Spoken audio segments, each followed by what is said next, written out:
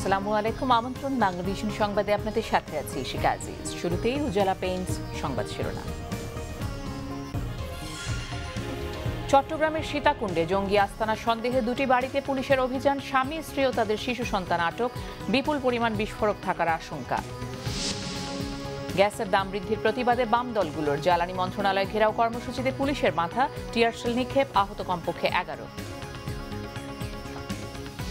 প্রধানমন্ত্রীর ভারত সফরে রাষ্ট্রবিরোধী চুক্তি হলে প্রতিহতের হুঁশিয়ারি বিএনপি নেতাদের সব চুক্তি প্রকাশ্যে ও দেশের স্বার্থেই হবে আশ্বাস ওবায়দুল কাদেরের কলম্বোয় শততম টেস্টে বাংলাদেশের ভালো সূচনা টাইগারদের বোলিং নৈপুণ্য ব্যাকফুটে লঙ্কানরা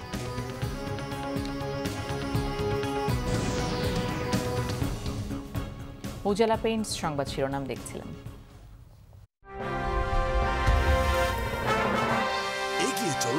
রাজ্যে বিস্তারিত সংবাদ চট্টগ্রামের সীতাকুণ্ডে জঙ্গি আস্তানা সন্দেহে দুটি বাড়িতে অভিযান চালিয়ে স্বামী স্ত্রী ও তাদের শিশু সন্তান সহ তিনজনকে আটক করেছে পুলিশ আটকদের দেয়া তথ্যের ভিত্তিতে সীতাকুণ্ড কলেজ রোডের ছায়ানীড় নামের একটি ভবনে অভিযান চালায় পুলিশ সেই ভবন থেকে পুলিশের ওপর হাতবোমা নিক্ষেপ করা হলে বাড়িটি ঘিরে ফেলে আইনশৃঙ্খলা রক্ষাকারী বাহিনী ওই আস্তানার ভেতরে অস্ত্র গুলি হ্যান্ড গ্রেনেড ও বিপুল পরিমাণ বিস্ফোরক থাকতে পারে বলে ধারণা পুলিশের আস্তানা দুটি সন্ধান পেয়ে বুধবার বিকেলে সেখানে অভিযান শুরু করে পুলিশেরই মধ্যে সিএমপি থেকে ঘটনাস্থলে পৌঁছেছে বিস্ফোরক নিষ্ক্রিয়করণ ইউনিটও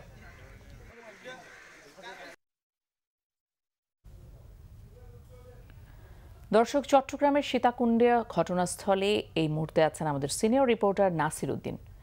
কথা বলছি নাসিরের সঙ্গে নাসির বাড়ি দুটি পুলিশের অভিযান কি এখনও চলছে দুটি বাড়িতে আর নতুন কি তথ্য রয়েছে আপনার কাছে আমাদের জানান ইশিকা আপনি জানেন ইশিকা আপনি কাল বেলা তিনটায় সীতাকুণ্ড উপজেলা সদরের লামাবাজার সাদর কুটিরের বাড়ির মালিক ও তার স্ত্রী ভাড়াটিয়াকে চ্যালেঞ্জ করেন দেয়া জাতীয় পরিচয়পত্রটি নকল এই খবরে ক্ষুব্ধ হয়ে ভাড়াটিয়া ভাড়াটিয়া জঙ্গি পরিবারটি বাড়ির বাড়িওয়ালা সুরেশ ও তার স্ত্রী ছায়ের উপর হামলা চালান তখন বাড়িওয়ালা কৌশলে পুলিশকে খবর দিয়ে তাদের বাড়ির মধ্যে আটকে রাখেন হ্যাঁ ওই বাড়িতে জঙ্গি দম্পতিও তাদের শিশু সন্তানকে স্থানীয় লোকজনের সহায়তায় পুলিশ আটক করে রাখেন এর পরে সীতাকুণ্ডা সদরের অপর একটি বাড়ি প্রেমতলার বাড়িতে ছায়ালির বাড়ি ওই বাড়িটির নাম দুইতলা বাড়িতে নিচতলায় একটি জঙ্গি সংগঠনের অবস্থান চিহ্নিত করে পুলিশ পুলিশ প্রাথমিক অবস্থায় অভিযান চালাতে গেলে জঙ্গি সদস্যরা পুলিশের উপর ককটেল চার্জ করেন এই সময় জঙ্গিদের ককটেল নিক্ষেপের কারণে সীতাকুণ্ড সদর থানার ওসি তদন্ত মোজাম্মেল সামান্য আহত হন এরপর পুলিশ নিরাপদ দূরত্বে সরে আসে এবং জেলা সদর থেকে অতিরিক্ত পুলিশ এনে এখন পুরো বাড়িটি ঘেরাও করে রেখেছে পুলিশ সাত লাইট দিয়ে এখন বাড়িটিতে অভিযান চালানোর সার্বিক প্রস্তুতি নিচ্ছে বিপুল উৎসুক লোকজন বাড়িটির চারপাশে অবস্থান নিয়েছে সম্ভবত কিছুক্ষণ পরে এই বাড়িতে অভিযান চালার শুরু করবেন বলে আমাদের পুলিশ সুপার জানিয়েছেন এই হলো আমার কাছে শেষ খবর ঈশিকা নাসির ধন্যবাদ আপনাকে দর্শক চট্টগ্রামের সীতাকুণ্ড কলেজ রোডে ছায়ানির ভবনের ওখানে অবস্থানরত আমাদের রিপোর্টার নাসিরুদ্দিন তোতার সঙ্গে কথা বলছিলাম গ্যাসের দাম বাড়ানোর প্রতিবাদে জ্বালানি মন্ত্রণালয়ে ঘেরা হয়ে বাম রাজনৈতিক দলগুলোর কর্মসূচি পুলিশি বাধায় পণ্ড হয়েছে এ সময় টিয়ারশেল নিক্ষেপ পুলিশের লাঠিচার্জ ধাওয়া পাল্টা ধাওয়ায় বেশ কয়েকজন আহত হয় এর প্রতিবাদে আগামীকাল বিকেলে রাজধানী সহ সারা দেশে বিক্ষোভ কর্মসূচির ঘোষণা দিয়েছেন সিপিবি ও বাসদ নেতারা পূর্ব ঘোষণা অনুযায়ী বাংলাদেশের কমিউনিস্ট পার্টি বাংলাদেশের সমাজতান্ত্রিক দল ও গণসংহতি আন্দোলনের নেতাকর্মীরা বুধবার বেলা এগারোটায় প্রেস ক্লাবের সামনে জড়ো হয় সংক্ষিপ্ত সমাবেশ শেষে সচিবালয়ের দিকে যেতে চাইলে প্রেস ক্লাবের পাশে বাধা দেয় পুলিশ এ সময় নেতাকর্মীরা উত্তেজিত হয়ে ব্যারিগেড সরিয়ে সামনে যাবার চেষ্টা করে এক পর্যায়ে সচিবালয়ের দিকে যেতে চাইলে আবারও বাধার মুখে পড়ে সিপিবি বাসদ ও গণসংহতি আন্দোলনের নেতাকর্মীরা সে সময় পুলিশ টিয়ারসেল ও গুলি চালায় দফায় দফায় চলে পুলিশের সাথে ধাওয়া পাল্টা ধাওয়া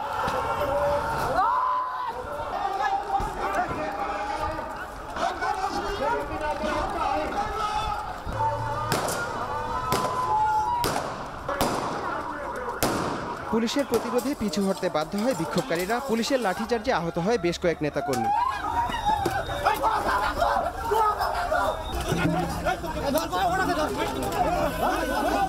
ধর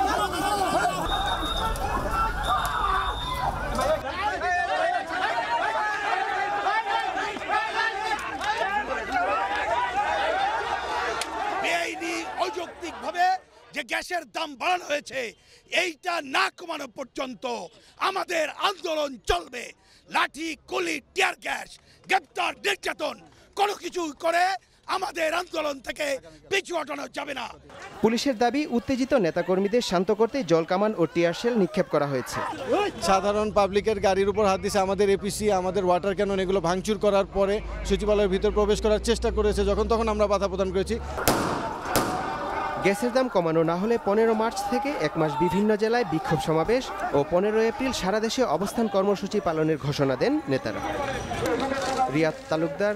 বাংলা ভিশন ঢাকা কুষ্টিয়া জেলা পরিষদের নবনির্বাচিত চেয়ারম্যান হাজি রবিউল ইসলামকে শপথ পাঠ করিয়েছেন প্রধানমন্ত্রী শেখ হাসিনা সকালে প্রধানমন্ত্রীর কার্যালয়ে এই অনুষ্ঠানে স্থানীয় সরকার মন্ত্রণালয় ও প্রধানমন্ত্রীর কার্যালয়ের ঊর্ধ্বতন কর্মকর্তারা উপস্থিত ছিলেন গত আঠাশ ডিসেম্বর কুষ্টিয়া জেলা পরিষদের অন্যান্য পদে নির্বাচন হলেও নির্বাচন কমিশনের নির্দেশনার কারণে শুধু চেয়ারম্যান পদে নির্বাচন হয়নি পরে বিনা প্রতিদ্বন্দ্বিতায় হাজি রবিউল চেয়ারম্যান নির্বাচিত হন এদিকে প্রধানমন্ত্রী শেখ হাসিনার সঙ্গে সৌজন্য সাক্ষাৎ করেছেন ব্রাজিলের বিদায়ী রাষ্ট্রদূত ওয়ানজা ক্যাম্পোস দ্য নোবেকরা এ সময় দুদেশের মধ্যে স্বার্থ সংশ্লিষ্ট নানা বিষয়ে আলোচনা করেন তারা বাংলাদেশে দায়িত্ব পালনের সহযোগিতার জন্য প্রধানমন্ত্রী শেখ হাসিনাকে ধন্যবাদ জানান ব্রাজিলের বিদায়ী রাষ্ট্রদূত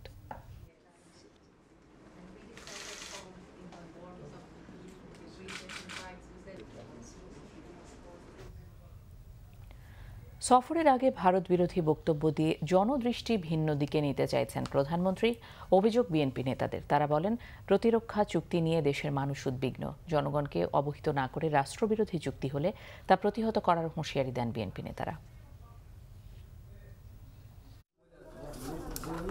প্রধানমন্ত্রীর আসন্ন ভারত সফর নিয়ে নয়াপল্টন কেন্দ্রীয় কার্যালয়ে সংবাদ সম্মেলন করেন বিএনপির সিনিয়র যুগ্ম মহাসচিব রুহুল কবির রিজভি প্রধানমন্ত্রীর আসন্ন ভারত সফরে যেহেতু ভারতের প্রধান চাহিদা প্রতিরক্ষা চুক্তি এছাড়াও আরও দু ডজন চুক্তির কথাও শোনা যাচ্ছে তাই জনগণকে অবগত না করে অবগত না করে কোনো গোপন চুক্তি কেউ মেনে নেবে না বাস্তবায়ন হতে দেবে না দাসত্বের শৃঙ্খলে বাঁধার যে কোনো চুক্তি এদেশের জনগণ রাজনৈতিক দল ও বিভিন্ন সংগঠন অগ্নিবর্ণ সংগ্রামে তা প্রতিহত করবে বিএনপির সাবেক মহাসচিব খন্দকার দেলোয়ার হোসেনের ষষ্ঠ মৃত্যুবার্ষিকী উপলক্ষে এক স্মরণ সভায় বিএনপি নেতারা বলেন আস্থাহীন কোনো নির্বাচন হতে দেবে না জনগণ কথা বলেন প্রধানমন্ত্রীর ভারত সফর প্রসঙ্গেও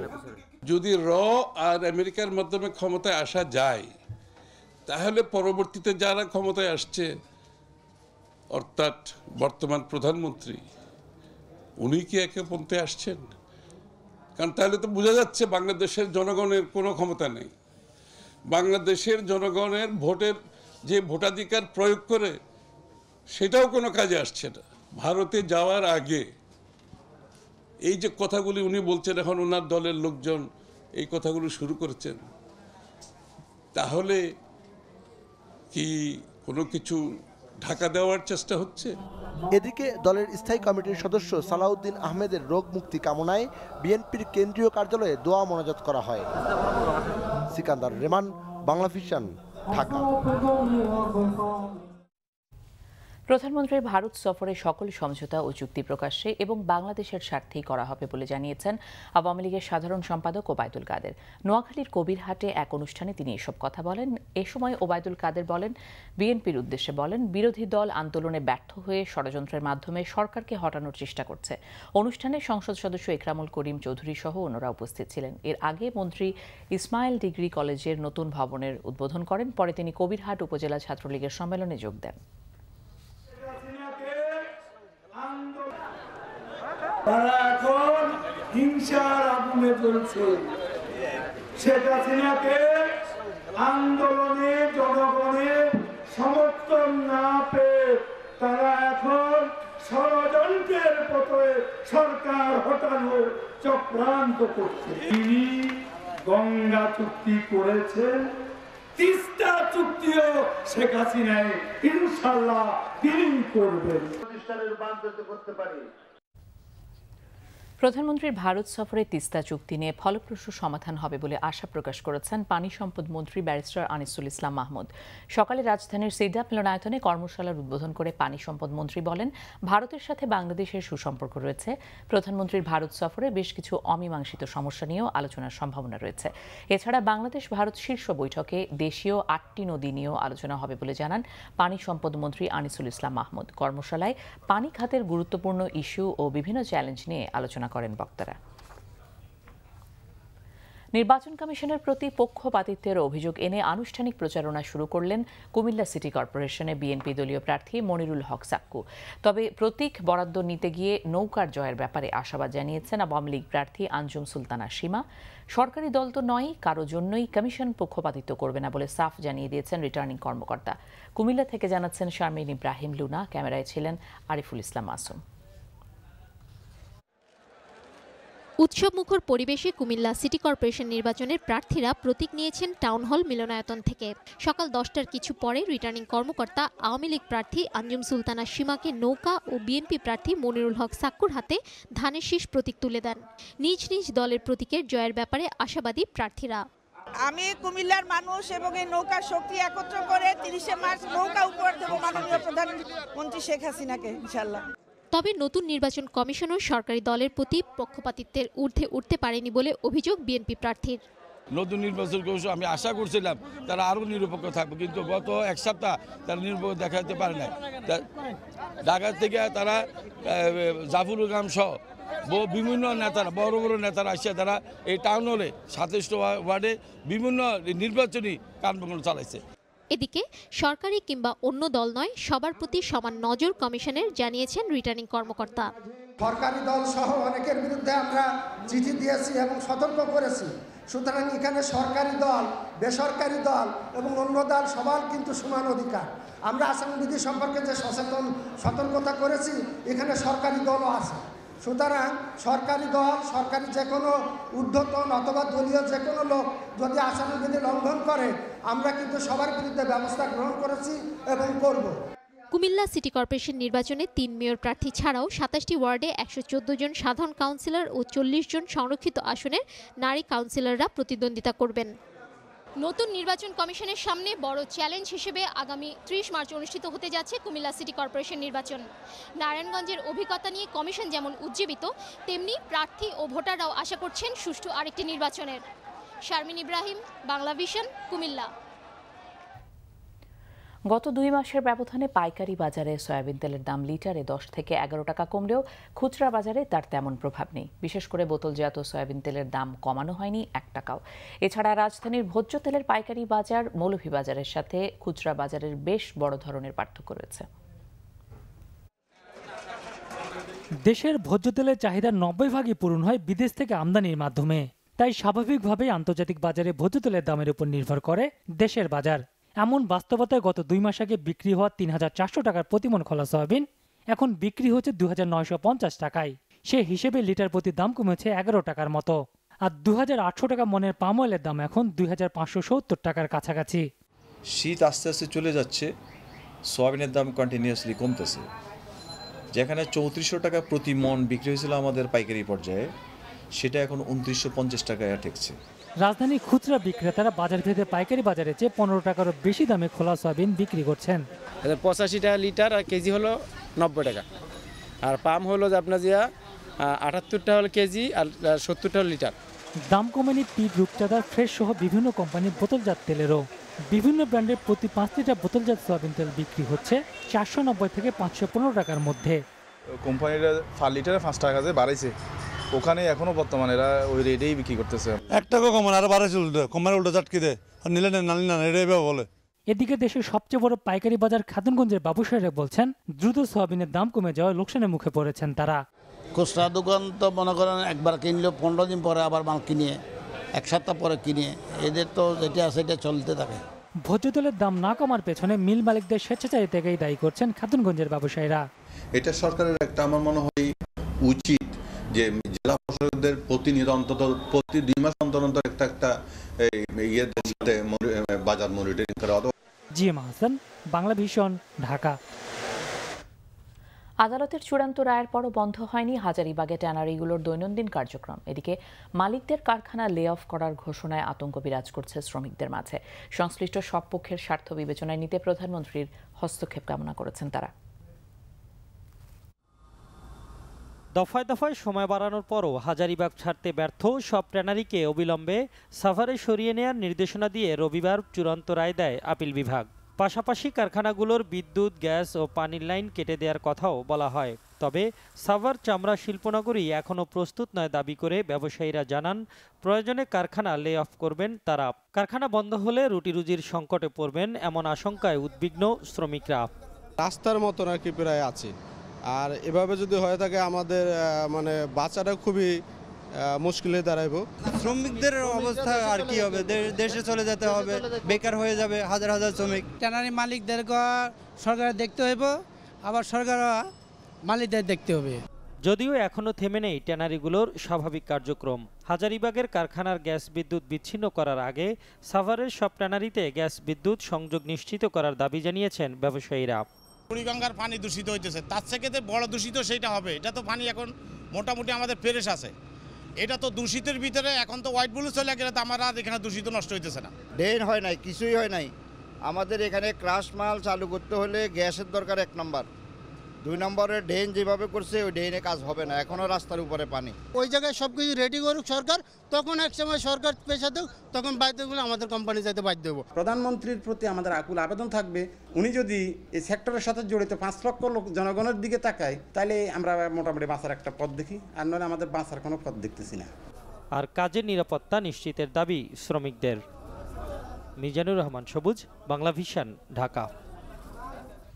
কলম্বো টেস্ট বোলারদের নৈপুণ্যে কলম্বোয় নিজেদের শততম টেস্টের প্রথম দিনেই শ্রীলঙ্কাকে চাপে রেখেছে বাংলাদেশ পিসারা ওভালে টস হেরে ফিল্ডিংয়ে নামা টাইগারদের নিয়ন্ত্রিত বোলিংয়ে সাত উইকেটে দুইশো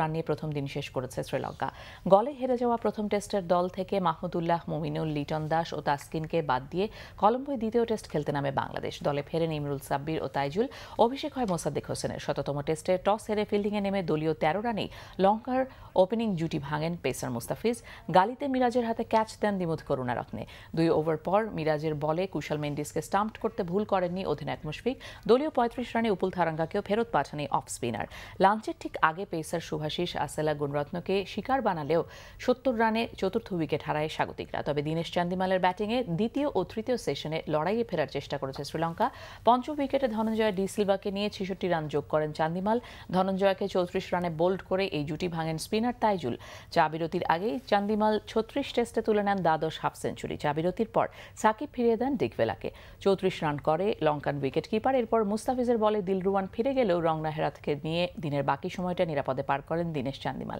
পঁচাশি রানে অপরাজিত থেকে সেঞ্চুরির সম্ভাবনা জিয়ে রেখেছেন চান্দিমাল সিবিসি টাইলস সংবাদ বিরতি নিচ্ছি সঙ্গেই থাকুন ফিরে এসে থাকছে দিনাজপুরের পীর ও গৃহ পরিচারিকা হত্যার ঘটনায় কুড়িগ্রাম থেকে আরেক পীর আটক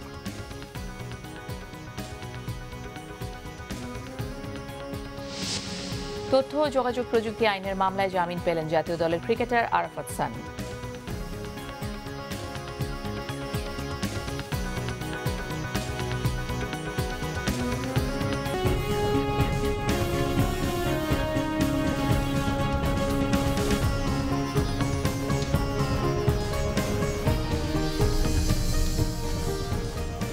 স্বাগত আরেকবার বাংলা ভিশন সংবাদে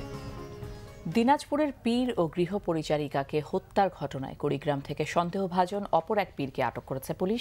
জেলার পুলিশ সুপার মেনহাজুল আলম জানান বুধবার ভোররাতে জেলার ভুরুঙ্গামারি উপজেলার দক্ষিণ পাথরডুবি গ্রামের নিজ বাড়ি থেকে পীর এসাহা কালীকে আটক করা হয় তাকে জিজ্ঞাসাবাদের জন্য দিনাজপুর পুলিশের কাছে হস্তান্তর করা হয়েছে ১৩ মার্চ রাতে বোচাগঞ্জ উপজেলার দৌলা এলাকার পীর ফরহাদ হাসান চৌধুরী ও তার গৃহ পরিচারিকা রূপালী বেগমকে গুলি ও জবাই করে হত্যা করে দুর্বৃত্তরা নিহত পীর দিনাজপুর পৌর বিএনপির সাবেক সভাপতি ছিলেন চট্টগ্রামের সাবেক এসপি বাবুল আক্তারের শ্রী মাহমুদা খানম মৃত্যু হত্যা এবং ঝিনাইদহের এসআই আকরাম হত্যার উদ্দেশ্য একই এমনটাই দাবি করেছেন আকরামের বোন জান্নাত তারা পারভিন রিনি দুপুরে তিনি চট্টগ্রামের নগর গোয়েন্দা পুলিশের কার্যালয়ে মৃত্যু হত্যা তদন্তকারী কর্মকর্তা মোহাম্মদ কামরুজ্জামানকে এই তথ্য জানান বাবুল আক্তারের সাথে আকরামের স্ত্রী বন্যির পরকিয়ার কারণে মিতু ও আকরামকে হত্যা করা হয়েছে অভিযোগ এনে রিনি বলেন বাবুলের চাপেই এতদিন তারা মুখ খুলতে পারেননি এদিকে অভিযোগ সম্পর্কে মামলার তদন্তকারী কর্মকর্তা বলেছেন তদন্তের স্বার্থে আকরামের স্ত্রী বন্নিকেও জিজ্ঞাসাবাদ করা হবে গত বছরের পাঁচ জুন সকালে ছেলেকে স্কুল বাসে তুলে দিতে যাওয়ার সময় চট্টগ্রামে দুর্বৃত্তদের উপর্যুপুরি ছুরিকাঘাত ও গুলিতে নিহত হন যখনকার পুলিশ কর্মকর্তা বাবুল আক্তারের স্ত্রী মাহমুদা খানম মিতু মিতু খুনের প্রায় নয় মাস পর আকস্মিকভাবে এসআই আকরামের মৃত্যুর সঙ্গে বাবুল আক্তারের সম্পৃক্ততার অভিযোগ তোলেন আকরামের বনরিনী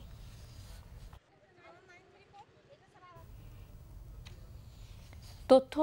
যোগাযোগ প্রযুক্তি আইনের মামলায় জামিন পেলেন জাতীয় দলের ক্রিকেটার আরাফাত সানি আজ বুধবার ঢাকার সাইবার ট্রাইব্যুনালের বিচারক সাইফুল ইসলাম জামিনের এই আদেশ দেন আরাফাত সানির আইনজীবী বলেন এই জামিনের ফলে আরাফাত সানির মুক্তিতে আর কোনো বাধা নেই পঞ্চাশ হাজার টাকা মুচলেকায় এই জামিন মঞ্জুর করেন আদালত এর আগে আরাফাত সানির বিরুদ্ধে করা মামলার বাদী ওই তরুণী আদালতে লিখিত আবেদনে বলেন আরাফাত সানির জামিনে তার কোনো আপত্তি নেই গত পাঁচ জানুয়ারি আরাফাত সানির বিরুদ্ধে তথ্য ও যোগাযোগ প্রযুক্তি আইনে মোহাম্মদপুর থানায় ওই মামলা করেন ওই তরুণী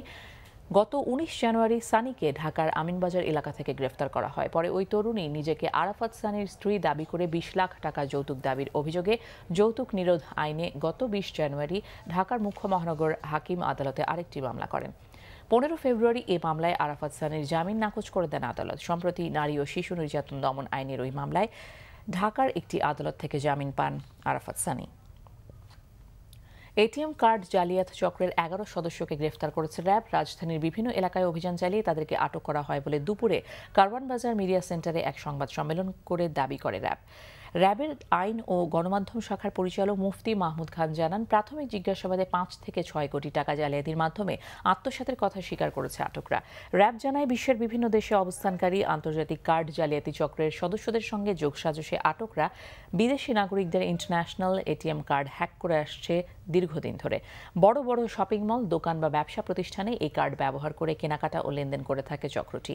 এই প্রক্রিয়ায় তারা প্রতি মাসে পঞ্চাশ থেকে ষাট লাখ টাকা আত্মসাত করে বলে জানায় র্যাব চক্রটির সাথে বিভিন্ন ব্যবসা প্রতিষ্ঠানের অসাধু লোকরা জড়িত বলেও দাবি করেন র্যাবের আইন ও গণমাধ্যম শাখার পরিচালক মুফতি মাহমুদ খান আটকদের কাছ থেকে এটিএম কার্ড তৈরির কাঁচামাল বিভিন্ন ধরনের প্রিন্টার বিভিন্ন ব্যাংকের দুশোটি এটিএম কার্ড একশোটি খালি এটিএম কার্ড ও ছয়টি কার্ডের পাঁচ মেশিন উদ্ধার করা হয়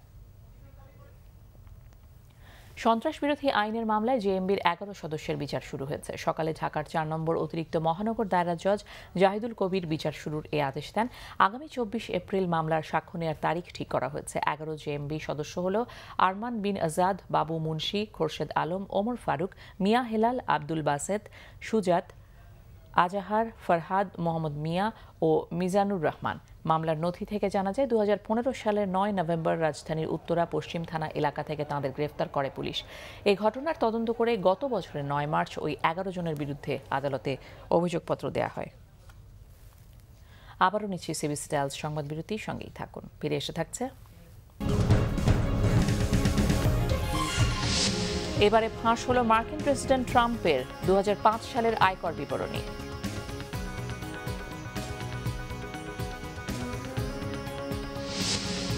ব্যক্তিগত কারণ দেখিয়ে হঠাৎই আইসিসির চেয়ারম্যান পদ থেকে পদত্যাগ ভারতের শশাঙ্ক মনোহরের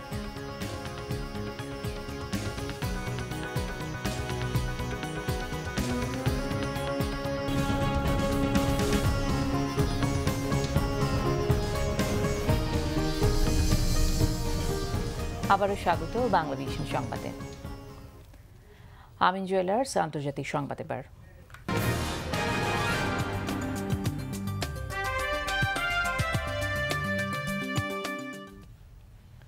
এবারে ফাঁস হলো মার্কিন প্রেসিডেন্ট ডোনাল্ড ট্রাম্পের দু সালের আয়কর বিবরণীর তথ্য এতে দেখা যায় ওই বছর পনেরো কোটি ডলারের বেশি আয়ের বিপরীতে তিন কোটি আশি লাখ ডলার আয়কর দিয়েছেন ট্রাম্প দুই পৃষ্ঠার এই আয়কর বিবরণী প্রকাশ করেছে মার্কিন টেলিভিশন নেটওয়ার্ক এম তবে এতে ট্রাম্পের আয়ের বিস্তারিত বিবরণ নেই এটা ট্রাম্পের পূর্ণাঙ্গ আয়কর বিবরণীর অংশ এতে দেখা যায় ফেডারেল ইনকাম ট্যাক্স হিসেবে পঞ্চাশ লাখ ডলার এবং অল্টারনেটিভ মিনিমাম ট্যাক্স হিসেবে তিন কোটি দশ লাখ ডলার দিয়েছেন ট্রাম্প করের এই হার সাধারণ আমেরিকানদের তুলনায় বেশি হলেও ধনীদের দেয়া করের গড় হার সাতাশ দশমিক চার শতাংশের চেয়েও কম ধনীদের কর এড়ানোর পথ বন্ধ করতে অন্তত পাঁচ দশক আগে অল্টারনেটিভ মিনিমাম ট্যাক্স ব্যবস্থা চালু করা হয় ট্রাম্পের আয়কর বিবরণীর তথ্য ফাঁসের ঘটনায় ক্ষুব্ধ হোয়াইট হাউস একে বেআইনি হিসেবে উল্লেখ করেছে নির্বাচনী প্রচারের সময় বিরোধীদের চাপের মুখেও আয়কর তথ্য প্রকাশ করেননি ট্রাম্প গত চল্লিশ বছরে আয়কর বিবরণী প্রকাশ করেছিলেন নির্বাচিত সব মার্কিন প্রেসিডেন্ট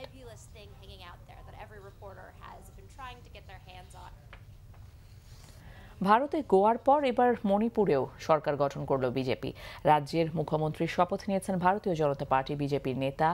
নংথন বাম বীরেন সিংহ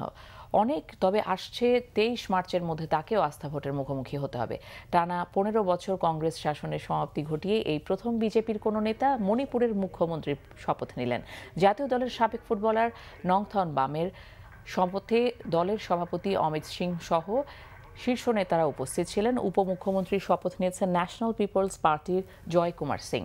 মণিপুরে বিধানসভা নির্বাচনে মোট ষাট আসনের মধ্যে আটাশটিতে কংগ্রেস ও একুশটিতে বিজেপি জয়লাভ করে সরকার গঠনে ন্যূনতম একত্রিশ আসন নিশ্চিত করতে ফলাফল ঘোষণার পরপরই জোট গঠনে তৎপরতা শুরু করে BJP National people's Party Nagaland people's Party ও লোক জনশক্তি পার্টি সহ স্বতন্ত্র কয়েকজন বিধায়কের সমর্থনে সরকার গঠনে ন্যূনতম সীমা অতিক্রম করে দলটি রাজ্যপাল নাজমা হেপতুল্লাহ বিজেপিকে সরকার গঠনের আহ্বান জানালে পদত্যাগ করেন টানা পনেরো বছরের মুখ্যমন্ত্রী কংগ্রেস নেতা ওখরাম ইবোবিসি সিং তবে বিজেপির বিরুদ্ধে বিধায়ক কেনাবাচার অভিযোগ তুলেছে কংগ্রেস সংবাদ শেষ করব উজালা পেইন্টস সংবাদ শিরোনামগুলো আরেকবার চট্টগ্রামে সীতাকুণ্ডে জঙ্গি আস্তানা সন্দেহে দুটি বাড়িতে পুলিশের অভিযান স্বামী স্ত্রী ও তাদের শিশু সন্তান আটক বিপুল পরিমাণ বিস্ফোরক থাকার আশঙ্কা গ্যাসের দাম বৃদ্ধির প্রতিবাদে বাম দলগুলোর জ্বালানি মন্ত্রণালয় ঘেরাও কর্মসূচিতে পুলিশের বাঁধা টিয়ার নিক্ষেপ আহত কমপক্ষে এগারো প্রধানমন্ত্রীর ভারত সফরে রাষ্ট্রবিরোধী চুক্তি হলে প্রতিহতের হুঁশিয়ারি বিএনপি নেতাদের সব চুক্তি প্রকাশ্যে ও দেশের স্বার্থেই হবে আশ্বাস ওবায়দুল কাদেরের কলম্বোয় শততম টেস্টে বাংলাদেশের ভালো সূচনা টাইগারদের বোলিং নৈপুণ্য ব্যাকফুটে লঙ্কানরা